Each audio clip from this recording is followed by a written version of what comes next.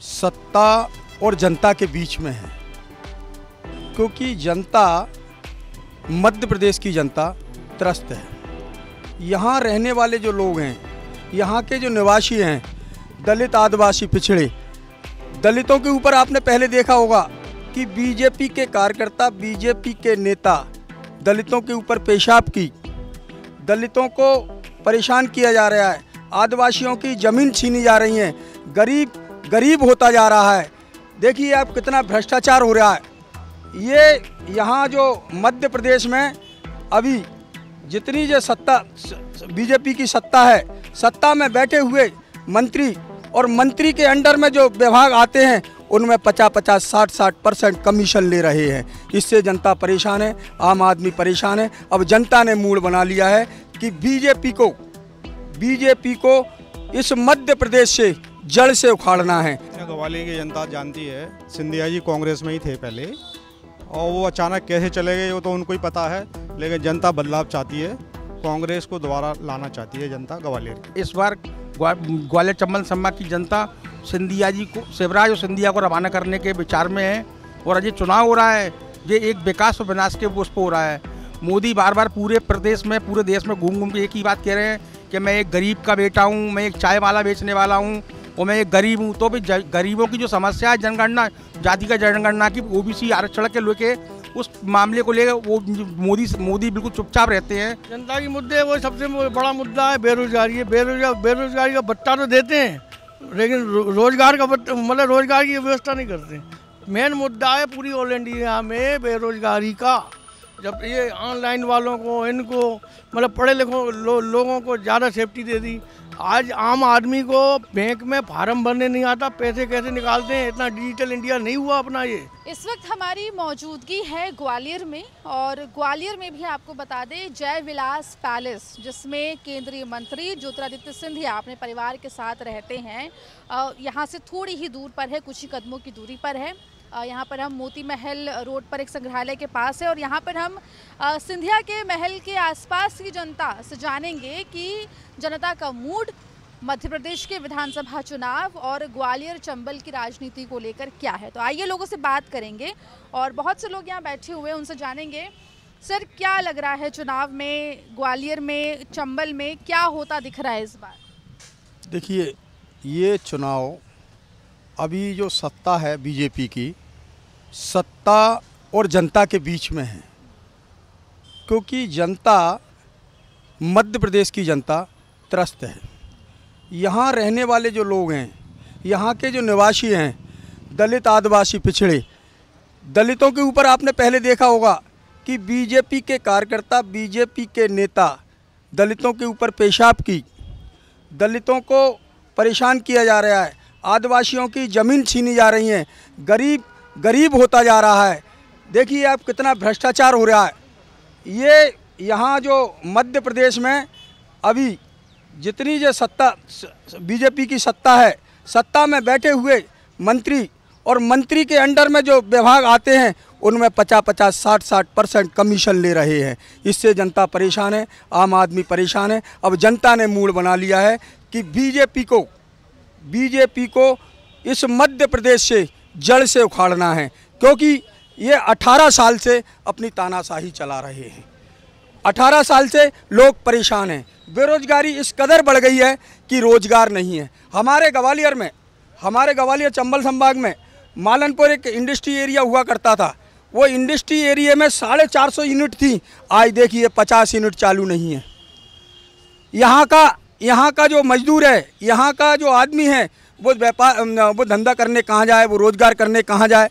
और जो जो प्राइवेट जो प्राइवेट दुकानें थी प्राइवेट जो कारखाने थे वो सारे बंद हो गए हैं। ये कोरोना काल में ये सब छटनी कर दी। आज बेरोजगारी बहुत चरम सीमा पर है। तो बेरोजगारी भ्रष्टाचार महँगाई लोगों को मुद्दा लग रहा है और कह रहे हैं कि जनता जो है वो बदलाव चाहती है। आ, आपको क्या लग रहा है? सिंधिया केंद्रीय मंत्री हैं, यहाँ से आते हैं कुछ ही कदमों पर महल भी है। कितना सिंधिया के केंद्र में जाने का फ़ायदा मिला ग्वालियर की जनता को? और पूरा जो प्रकरण 2020 में हुआ, वो कितना असर डालेगा ये 23 के चुनाव? देखिए, ग्वालियर की जनता जानती है, सिंधिया जी कांग्रेस में ही थे पहले, और वो अचानक कैसे चले गए, वो तो उनको ही पता है, लेकिन जनता बदलाव चाहती है। कांग्रेस को दोबारा लाना चाहती है जनता ग्वालियर की। क्यों ऐसा? इसलिए क्योंकि 18 साल बहुत हो गए 18 साल में बीजेपी ने कुछ काम ही नहीं किया। है किया है तो गरीब जनता परेशान है, बड़े लेवल पे काम हुए हैं, छोटे लेवल पर कोई सुनता नहीं है। और ये तो सत्ता में बदलाव जाना, जनता को लाना ज़रूरी है। अब और भी लोग हमारे साथ जुड़ रहे हैं उनसे भी जानेंगे। सर आपको क्या लग रहा है कि क्या वजह यहाँ पर जिस तरह के सभी लोग बात कर रहे हैं कि महँगाई भ्रष्टाचार ये तमाम मुद्दे ग्वालियर में दिख रहे हैं और 2020 में जो हुआ उसका भी कितना असर आपको दिख रहा है इस, चुनाव में? 2018 के चुनाव में जनता पहले ही अपना जनादेश कांग्रेस को दे चुकी थी परंतु सिंधिया जी के बदलाव होने से जनता ने बिल्कुल वोट जो जनता का वोट बेच दिया, बीजेपी को, वो पूरी तरह से गलत किया। इस बार ग्वा- ग्वालियर चंबल संभाग की जनता सिंधिया जी को, शिवराज और सिंधिया को रवाना करने के विचार में है और अजय चुनाव हो रहा है। ये एक विकास और विनाश के उस पर हो रहा है। मोदी बार बार पूरे प्रदेश में, पूरे देश में घूम घूम के एक ही बात कह रहे हैं कि मैं एक गरीब का बेटा हूँ, मैं एक चाय वाला बेचने वाला हूँ और मैं एक गरीब हूँ। तो भी गरीबों की जो समस्या है, जनगणना, जाति का जनगणना की, ओबीसी आरक्षण के लेके उस मामले को लेकर वो मोदी मोदी बिल्कुल चुपचाप रहते हैं। पर ये जो जो फिर क्यों दवाई दे रहे हैं? मैं गरीब हूँ और मैं मैं चाय बेचने वाले हूँ ओ बी सी हूँ और वो अगर मोदी को गाली बकी तो ओ बी सी को गाली बकी।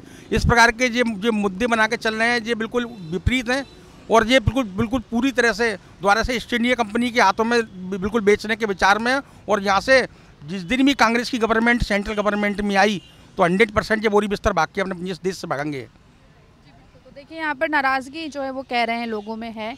अ, एक और सर हैं उनसे हम बात करने की कोशिश करेंगे। अ, ये आप कितने बजे से शुरू करते हैं लगाना? मैडम साढ़े बारह एक बजे से लेकर आठ बजे तक लगाते हैं। किसी अभी दो महीने पहले यहाँ पे दुकानें थी हमारी ये। तो इन लोगों ने बिजली घर का 112 करोड़ का प्रोजेक्ट बनने आया है। तो इन लोगों ने बिना उसके नोटिस के हमको हटवा दी और बेरोजगार कर दिया। आप ये फुटपाथ पे लगा रहे हैं। तो हमने ये मंत्री जी से भी आवेदन दिया था। उन्होंने नज़रअंदाज कर दिया। सिकरवार साहब को दिया उन्होंने नज़रअंदाज कर दिया। बोले वो सरकारी जगह जबकि तीस पच्चीस साल से यहाँ दुकानदारी कर रहे थे हम। अब बेरोजगार हो गए एक तरह से हम। अब क्या लग रहा है इस बार? मूड कैसा लग रहा है ग्वालियर का? वादे खोखले हैं। कारण ये है कि सारा इंडिया का कम से कम पच्चीस हज़ार करोड़ सुबोध राय को से भी गवर्नमेंट के पास जमा कर दिया उसने। उसके बाद ग्वालियर की जनता का कम से कम पच्चीस तीस करोड़ रुपया लेना है, सारा इंडिया से। उसमें मेरा भी पैसा फंसा है।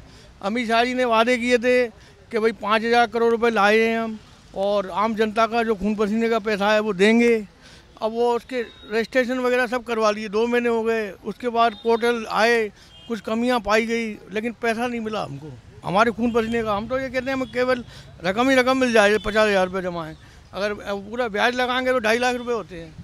यहाँ की जनता के मुद्दे क्या लग रहे हैं? जनता के मुद्दे वो सबसे बड़ा मुद्दा है बेरोजगारी बेरोजगार बेरोजगारी का भत्ता तो देते हैं लेकिन रोज़गार का मतलब रोज़गार की व्यवस्था नहीं करते। मेन मुद्दा है पूरी ऑल इंडिया में बेरोजगारी का। जब ये ऑनलाइन वालों को इनको मतलब पढ़े लिखो लो, लोगों को ज़्यादा सेफ्टी दे दी। आज आम आदमी को बैंक में फार्म भरने नहीं आता पैसे कैसे निकालते हैं? इतना डिजिटल इंडिया नहीं हुआ अपना ये। अमेरिका नहीं है ये आज भी आदमी साइकिल पे चलता है यहाँ। ये ये देखिए ये तमाम परेशानी है सब लोग बोल रहे हैं।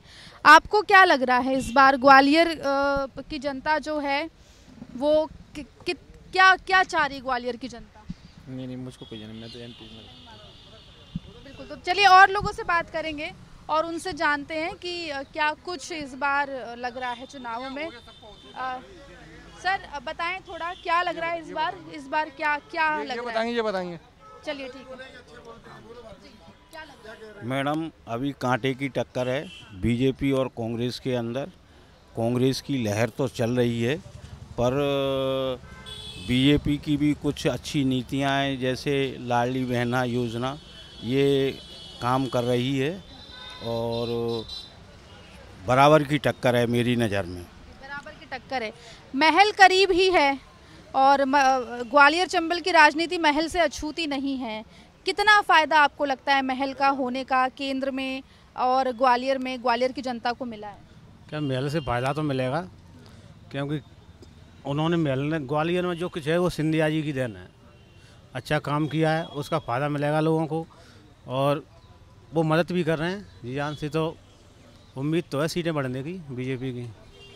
अच्छा कांग्रेस कहती है आरोप भी लगाती है कभी कभी जो है मज़ाक भी उड़ाती है कि सिंधिया जी जैसे कांग्रेस में थे अब वैसे बीजेपी में नहीं रहे। कांग्रेस में महाराज थे सीधी में जा जो है बीजेपी में जाकर अब भाई साहब हो गए हैं। तो क्या आपको लगता है बदलाव आया है सिंधिया में? नहीं बदलाव तो ऐसा कुछ ज़्यादा नहीं आया। जो जो तो दल बदल नेता तो सब लोग हो रहे हैं। सिंधिया जी अकेले नहीं है कई नेता बदले हैं। तो अपना अपना वो तो अपनी अपनी जगह सही है वो काम कर रहे हैं, लेकिन सिंधिया जी काम करने वाले नेता हैं, ऐसा कोई दिक्कत नेता है ऐसा है, सिंधिया जी के आने से बीजेपी मज़बूत हुई है। सिंधिया जी ने जितनी योजनाएँ यहाँ पे ग्वालियर लेकर आए हैं, ऐसा कोई राष्ट्रपति, प्रधानमंत्री से लेकर आज तक कोई नहीं आया जिसको महाराज लेकर आए हैं। महाराज के प्रयास से यहाँ पर सीटें भी बीजेपी की बढ़ेंगी और ग्वालियर का विकास भी हो रहा है और दिख भी रहा है। तो सीटें बढ़ेंगी आपको लग रहा है? हाँ मेरे हिसाब से तो जिस ढंग से महाराज हवाई अड्डे के लिए लेके आए हैं एडिलेड रोड लेके आए हैं तो इन सारी चीज़ों से जनता पर प्रभाव पड़ रहा है और मेरे हिसाब से सीटें बढ़ना चाहिए। देखिए यहाँ पर दोनों टाइप के रिएक्शंस जो हैं वो देखने को मिल रहे हैं। लोग ये भी कह रहे हैं कि सीटें भी बढ़ेंगी। और भी लोग हैं उनसे बात करेंगे। एक सर हैं उनसे बात करते हैं। सर क्या लग रहा है ग्वालियर में इस बार चुनाव में क्या होगा? चुनाव तो पता नहीं क्या होगा। जनता किस किसको पसंद कर रही है? बीजेपी है कांग्रेस है? कह नहीं सकते कांटे की टक्कर है। 2018 जैसा कुछ होगा या 2020 जैसा हो जाएगा? 2018 जैसा भी होना चाहिए। क्यों ऐसा? अब लग रहा है। ऐसे माहौल बन रहा है। पिछली बार भी सात सीटें आई थी इस क्षेत्र से है नहीं? अब की बार देखते हैं कितनी आती हैं। एक और सर है उनसे भी जानेंगे। आपको क्या लग रहा है विधानसभा चुनाव में ग्वालियर में क्या होगा इस बार? इस बार परिवर्तन तो होना चाहिए और होने के पूरे पूरे चांसेज हैं। जनता का परिवर्तन करने का मूड भी है क्योंकि बीजेपी उतना नहीं है। भाई इनका कोई प्लानिंग नहीं है एक काम को चार बार करते हैं केवल विकास नेताओं का हो रहा है, ना कि किसी आम पब्लिक का हो रहा है। जैसे अभी तानसे रोड देखिए आप अच्छा वाला रोड खोद दिया। जो तीन करोड़ का काम था, वो आज दस करोड़ में हो रहा है। यानी उसमें कमीशन कैसे मिले? नेताओं को पैसा कैसे मिले? ये हो रहा है। नौकरियाँ सारी ख़त्म कर दी। बेरोजगारी की कोई बात नहीं करता। महँगाई कोई बात नहीं करता। वही अठारह साल से तुम याद नहीं आई साढ़े चार सौ सिलेंडर देने की? आप कैसे याद है चुनाव के टाइम पे? बहनों को अठारह साल से याद नहीं आई?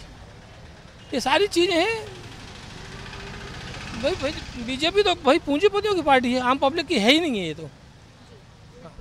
तो देखिए यहाँ पर काफ़ी मिला जुला रिस्पॉन्स जो है वो लोगों का निकल कर आ रहा है और मिला जुला रिस्पॉन्स ऐसे अ, कुछ नाराज़गी है तो वहीं कुछ जो हैं वो कह रहे हैं कि बीजेपी इस बार सत्ता में वापसी करेगी।